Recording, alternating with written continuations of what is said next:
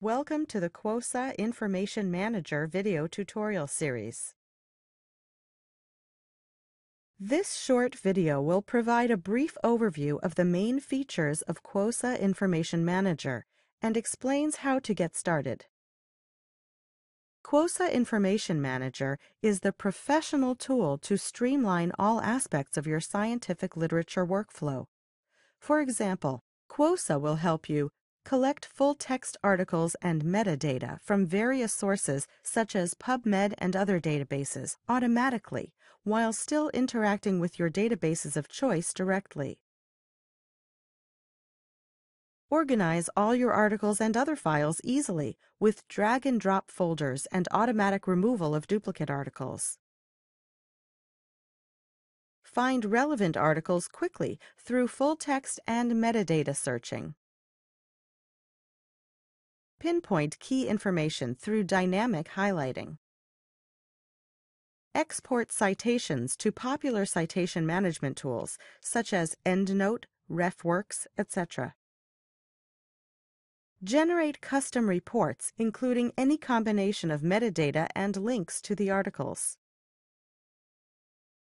Share your collections with colleagues, company-wide or beyond, through Quosa Virtual Libraries, a companion Quosa product.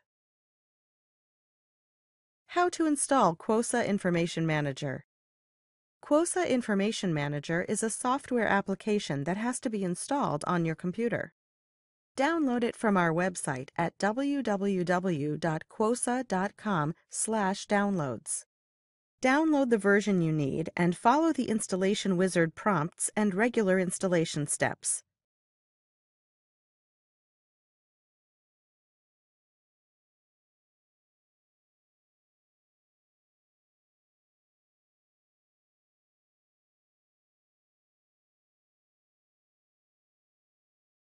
If prompted, fill out the registration form with your institutional information. Make sure you enter your name and institutional email address accurately. That's it. You are now ready to get started.